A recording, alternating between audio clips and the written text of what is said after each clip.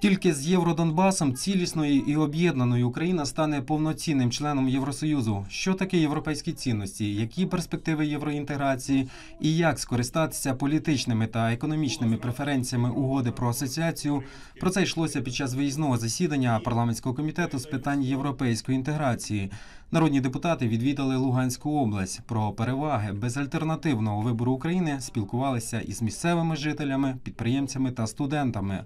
Розмова непроста, але відверта та чесна. Насамперед, в питанні безвізового режиму, наголошує голова комітету Ірина Геращенко, українська сторона виконала не в повному обсязі всі взяті зобов'язання. Але лібералізація візового режиму для Євросоюзу все ж таки питання політичне. Ми будемо нечесні з вами, от якщо зараз не визнаємо, що окрім технічної сторони питання безвізового режиму, там ми були дуже близькі до того, щоб ну от, знаєте, все виконати, всі ці наші домашні завдання. На сьогодні існує політична складова. Вона називається війна на Донбасі. Очевидно, що європейський союз сьогодні боїться іноді там да давати таку відповідь європейській стороні. Але ми тут, як політики, знаєте, відстоїмо одну позицію. Візами від війни європейський союз себе не убереже. Якщо хочуть, щоб на Україні був мир, потрібно досягти всього, щоб виконувалися мінські угоди. Тільки через виконання мінських угод, а ви це знаєте краще ніж ми тут, через дотримання режиму припинення вогню, через відведення зброї, через закриття кордону, через ведення миротворчої місії, на якій зараз наполягає українська сторона на ту територію, яка буде моніторити е, виконання мінських угод, через першу чергу встановлення нарешті нормального порядку на Україно-російському кордоні, щоб через нього не завозилася зброя, ми зможемо досягти порядку на Донбасі. Коаліційна угода і тісна співпраця з європейськими партнерами не дає іншого шляху, як врешті-решт провести довгоочікувані реформи, переконували депутати. Перші результати схвалено пакет антикорупційних законів, розпочалася люстрація і започаткована судова реформа. Втім, критика Верховної Ради і Кабміну від підприємців іноді справедлива. Недосконалий податковий кодекс, фіскальний тиск та проблеми з дерегуляцією. Над цим і має зосередитись депутатський корпус. Мы будем требовать, чтобы до конца этой сессии все-таки мы получили вменяемый пакет законопроектов от нашего правительства, потому что это должно, оно в первую очередь наработать о уменьшении пресса и дерегуляции. Это ненормально, когда сегодня у нас якобы велись уже электронные там а, все э, модификации там для э, биопаспортов, для еще каких-то бумажек, но получать их нужно еще дольше. Раньше за два дня можно было получить, теперь за неделю. Это нужно менять.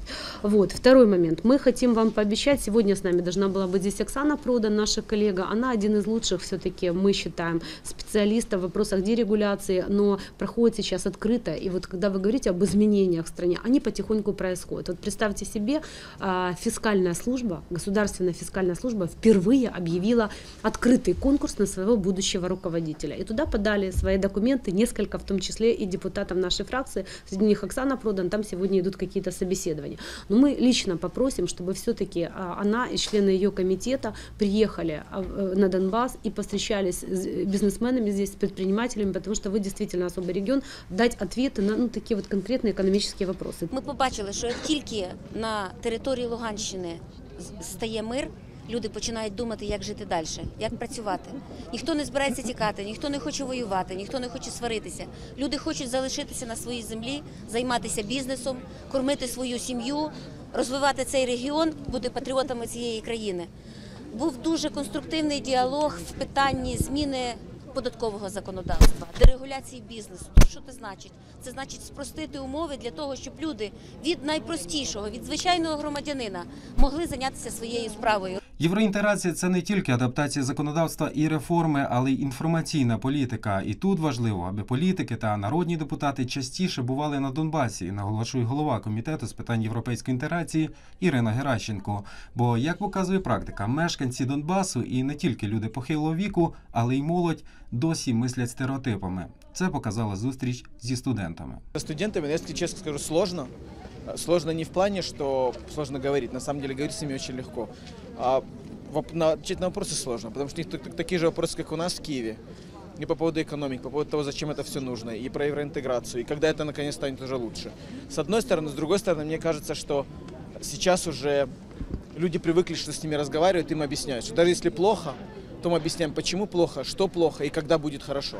И на самом деле я как представитель группы еврооптимистов, знаете, мы в парламенте создали такую группу, ну и блок Петра Порошенко, естественно, конечно. мы как молодые силы видим, что действительно растут люди, которые могут сменить, во-первых, тех, кто впереди нас, а потом, возможно, и нас. И действительно, я верю в то, что если уже здесь такие разговоры, если здесь об этом говорят, о том, что, возможно, евроинтеграция – это единственный путь развития, то на самом деле не так все и плохо у нас. Я как житель тоже Донбасса знаю о том, что здесь существует такой миф, но, к сожалению, в который очень многие верят, в том числе и представители молодежи. Ну, может, не для камер будет сказано, но о том, что там э, в Евросоюзе все голубые, да. И я знаю о том, что э, вот э, определенная часть молодого поколения она, скажем так, верит в эту информацию. И в- на самом деле действительно очень много мифов, которые, э, которые российская пропаганда здесь насаживала о том, что Европейский Союз это плохо, в Европейский Союз нам нельзя, нам нужно отдельно идти по какому-то там некому своему пути.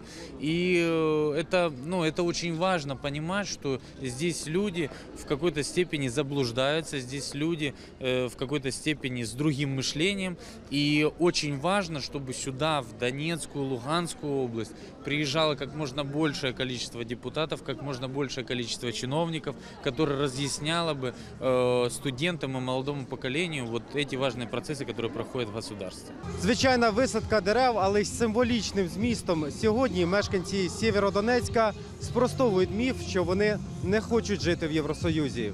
Відтепер ці декілька десятків дерев поблизу Сєвєродонецького будинку культури називатимуться символічно Євросквер. Саме тут, 6 квітня минулого року, група активістів вийшла з українськими прапорами проти проросійських проплачених мітингарів і була жорстоко побита. Ми збиралися на 15 години 6 квітня, але десь е, за 15-20 хвилин почали збиратися е, інші нал- налаштовані люди. В основному вони були з Лисичанська та Рубіжного, е, заздалегідь е, привезені сюди. І е, коли ми зібрались з прапорами, на нас на- почали нападати, бити, виганяти, оска- оска- оскорбляти. Декілька прапорів України були спалені ними. Е, Шість, е, здається, щ- шість наших попали у лікарню. З них троє були десь тиждень у лікарні. Сведомость северодончан, конечно же, становится гораздо более ближе к Украине, ближе к Европе. Ну, чего нельзя сказать о нашей местной власти. То есть, э, посмотрите, что приехали все народные депутаты Украины, э, представители Луганской облгосадминистрации, депутатский корпус и э, городской совет представляют только я один. То есть, среди нашей власти э, нет у нас э, людей, у которых бы поменялось мировоззрение. А так, судя по тому, сколько людей, то есть людей сейчас очень много у нас, э, которые поняли о том, что жить надо в свободной Украине, в единой Украине, и Европа нам близка. Ідея євроінтеграції тільки починає бути популярною на сході завдяки просвітницькій роботі. Ті, хто мав би допомагати та поширювати євровибір України, сьогодні втекли, каже Геннадій Москаль, який тут сьогодні і голова ОДА, і голова військової цивільної адміністрації, і один замість всіх депутатів облради. Починає бути популярною. До того партія регіонів 10 років все робила, щоб Європа тут представлялася як країна, де сплошні геї, куди не потрібно йти, треба йти в руський мір. Ну от е, сьогодні ми хотіли спочатку, я мав надію зібрати об- обласну раду, якої нема. 23 травня вони зібралися останній раз, засудили київську хунту, фашистів, нацистів, бандеровців і всіх інших, і повтікали. Як ви думаєте, куди? В руський мір? В Європу. Хто живе сьогодні в Варшаві, хто живе у Вєні, хто живе в Мюнхені? Значить, так е, оказується, в них там власність є, є будинки, є віли, є тому подібне. Так що ж ви дурили 10 років людей, збаламутили їх, розв'язали тут е, війну громадянську, коли православний з тої сторони вбиває православного, з цієї сторони.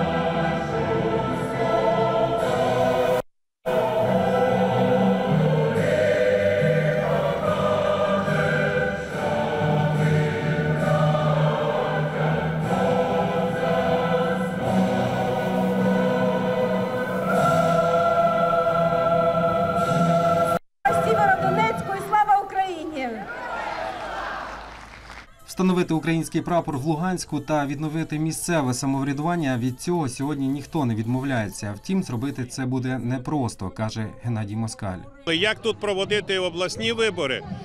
Вибори можна буде проводити, коли область буде звільнена від окупантів.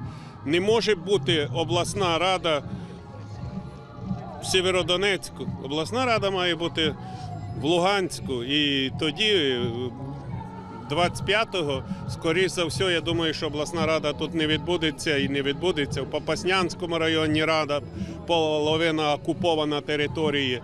Там, де сьогодні є проблеми окупації, вони ж не пристали на закон, який е, пропонував президент і парламент щодо особливості місцевого самоврядування в окремих е, м, е, населених пунктах Луганської і Донецької області. Припинилися грабежі і мародерство до українських міст, які відчули окупанта, повертається спокійне життя. Місцева обласна дитяча лікарня із Луганська переїхала у Лисичанськ. Сюди народні депутати привезли сучасне медичне обладнання, апарат для штучної вентиляції легень, а ще комплекти книжок для малих пацієнтів, учнів шкіл, інтернатів та дитячих садочків. Самый современный аппарат искусственной вентиляции легких, который обладает э, разно, э, так скажем, широким спектром в обслуживании, подачи значит, кислорода воздушных смесей э, Детям любых возрастов, начиная от ноля, то есть периода новорожденности и более старшим. Значит, благодаря этому аппарату дети получают хорошую вентиляцию. Значит, при любой патологии, инфекционной, легочной, операционной. То есть э, во всех этих периодах он способен полностью возместить дыхательную функцию легкого, которая страдает, например, при любой нозологии у ребенка. То есть э, огромное спасибо. В нашем регионе таких аппаратов на данный момент нету. Для нас самая большая проблема, что все областные лечебные учреждения остались в Луганске, в том числе областная детская больница. На сегодняшний день принято решение о передаче городской больницы детской города Лисичанск в областную коммунальную собственность, и где сейчас разворачивается областная детская больница.